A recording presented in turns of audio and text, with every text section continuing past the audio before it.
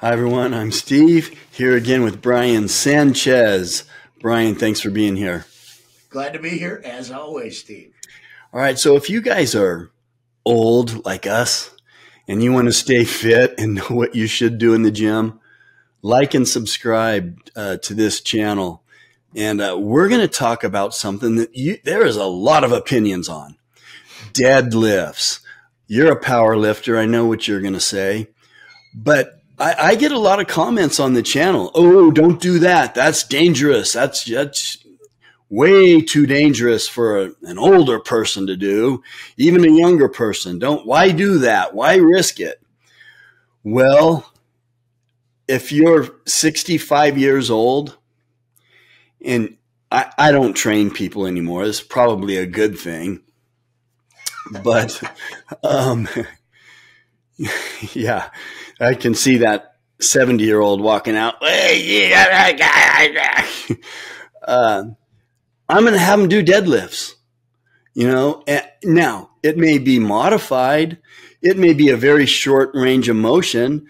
I might not even be using any weight, but you're going to do deadlifts. And if there's one exercise, if you could only do one exercise, for me, that's the one I'm going to pick. That's the one exercise. Now, it's not ideal, of course, if you're going to do um,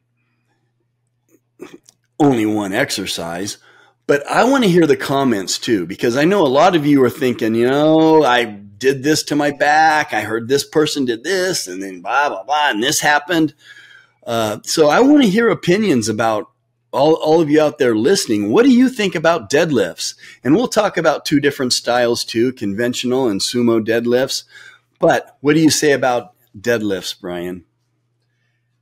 I love deadlifts for this guy. It's one of my absolute favorite things to do in the world. But let's be realistic. Can you get hurt doing a deadlift? Uh huh. Yes, you can. Is it dangerous for you? If you have poor technique and you are lifting above your ability and your means, um, I, I, would call it ego lifting. Yeah, there's some things that can go on. And when I'm talking about proper deadlifting, proper techniques, if you're jerking on the bar, if you're overlifting, if you're always trying to max out in the lift, and you are not keeping these bars, and I'm talking traditional straight bar deadlifting, tight to your body where the center of mass is, you can definitely put yourself into a bad situation. But to suggest that a deadlift is a, a an exercise that is not safe, I think that's absolutely false. The reason I say that is because when people get hurt doing that, I would like to see you know more information to why they got hurt. Because I would venture to say that there was a technique issue, that it might be an overlifting issue, people lifting with their ego and beyond their means. I deadlift every single week. I have clients that deadlift. Not all my clients deadlift in the in the traditional fashion, but we do all kinds of different variations. I want you to think about this. Now, if you don't have medical restrictions and you just didn't have your lower back um, taken care of, if you will, like surgically repaired, you have to look at the musculature for in your lower back, in your buttocks, in your glutes, in your hamstrings, the upper hamstring. The deadlift works so many important muscles between our knees and our chest that are important for the stabilization and health of our body, the pelvic region, okay, the lower back, the, the upper buttocks, the hamstrings. It works so many quality um, posterior chain, if you will, muscles. It's an absolutely good exercise to use. Now, with that said, if you've never deadlifted, grab a coach. Seriously, grab a coach. Because what happens is a lot of people when they're deadlifting, they want to go in and they want to put in all this weight. Their their bar will get past their toes and it's hanging. Well, we all know that if you go out and move a table and you get the weight away from your body and you turn or twist the wrong way, you're going to throw your back out. Yeah, that's possible. I think the same thing could be applied to the deadlifting. So, how do you do this safely? Technique and use differing systems. If you're not coming in here to Olympic deadlift, then you don't have to use a traditional deadlift. You can use something like a very safe way to do it is a suitcase hold. What that means is you're taking dumbbells and you're holding onto them outside of your legs and you keep them on the exterior of the leg and you hold them on it. You can do things like hang deadlifts, modifications to them, where you're not going into the same depth, but you're still working that hip hinge movement within the pelvic region that is absolutely necessary for all of us to have strong if we want to maintain a solid walking ability as we age. You can do stuff with the trap bar is one of my favorite ones when uh, when we're working with it. Now the trap bar obviously by name isn't necessarily the first thing people think of when deadlift, but the trap bar, for those of you that don't know, is the bar that has six sides to it and it comes around. It has two extensions on the outside. The handles for the trap bar are to the side, so they're not in front of you. So when you use that device in a deadlift, you're in a suitcase hold, is the way I describe it, with the with the hands to the outside the weight's not going to get in front of you and not pull you to your toes. So it's very safe. But then again, lift within your means. What I know about deadlifting uh, from a lifetime of doing it is, yeah, it can injure you if you're overlifting. If you're jerking and pulling, you've got all these nerves through the upper body area, in through the clavicle zone, that that can create problems for you if you start jerking on the bar. You know, you could develop carpal tunnel if you're doing things wrong with it and you're overexerting all the time. It, it's probably one of the bigger reasons why I've backed off on how much I lift. So I know that over time, yes, that can that can hurt you. Could you develop issues when it comes to compression of the back? Well, if you're putting too much weight on that bar and you're holding on to it, and you're standing up and it's compressing your body and you're 140 pounds and you got 500 pounds on that bar, yeah, it's possible it can compress you a little bit. You got to think about that.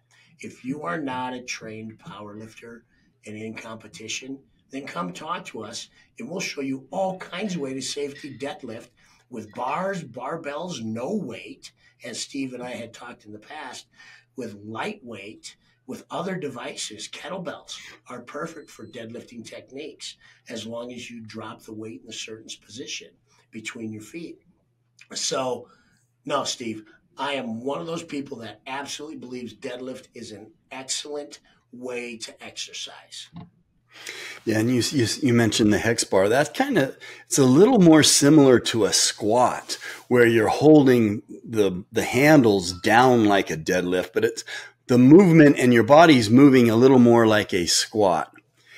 And, you know, we talk about injury, and you said you can injure yourself doing deadlifts, but look, look at the ways people injure themselves. They injure themselves getting out of bed. They injure themselves getting out of their recliner. They injure themselves getting up off the ground all these ways getting up out of a chair, they injure themselves. So if you don't want to injure yourself, do deadlifts, right? Strengthen that lower back, strengthen your buttocks, strengthen your hamstrings. That's the stuff that's going to help you to stay away from hurting yourself. When and I always kid around, you know you're getting old when you hurt yourself sleeping. Well, if your back is in pain because you went to bed and slept for eight hours, you might want to ask why.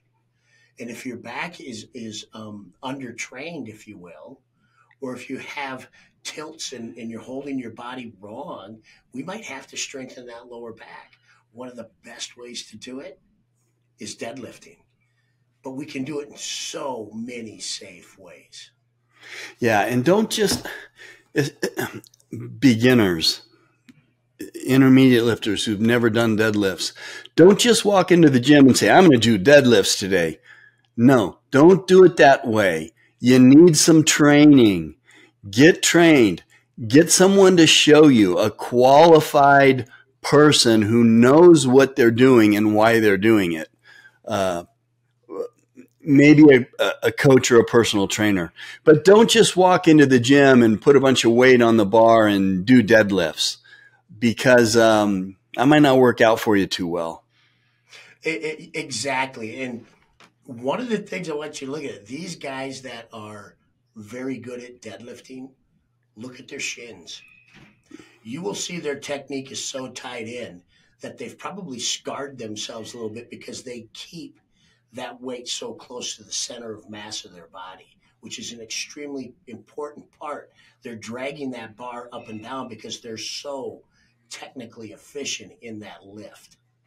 And, and those are good signs of somebody that kind of in my eyes, and I'm not saying just because you drag a bar up and down your body means that you know that you're good. They could have all kinds of bad things going on, but it's important to keep tight in your deadlift in the sense of your technique. Period. You just got to go for it. Find somebody who is trained. Yeah. Technique is critical. You have to have the proper technique and you need to learn the technique before you really start using any weights. Let's talk a little bit about sumo deadlifts and conventional style deadlifts. You know, you mentioned um, kettlebells. I love kettlebells for sumo deadlifts. You have that uh, kettlebell right in between your legs and you're doing the deadlift movement. You get great range of motion and I'll even take a couple of steps. And so I can get even deeper and do that. That feels good it's a fantastic way. And, and when you're using a, a sumo style deadlift, you're going to find that the musculature in your legs is going to work a little bit differently. And if you work yourself to exhaustion, you might feel a little more conditioning on the interior portion of your legs yep. than you would with a traditional deadlift, which is going to hang more to the posterior side of your of your body. Those are those little interesting things when you're trying to develop yourself that you need to know. And I encourage those that love deadlifting to do them both ways. Wide bases are nice. You're going to see people that have uh, real uh, um, um, small bases when they're lifting, but when you get to those wide bases, you'll be surprised at the stability your body has. And so sumo is a great way to work out. And what we mean by sumo is your feet are going to be wide.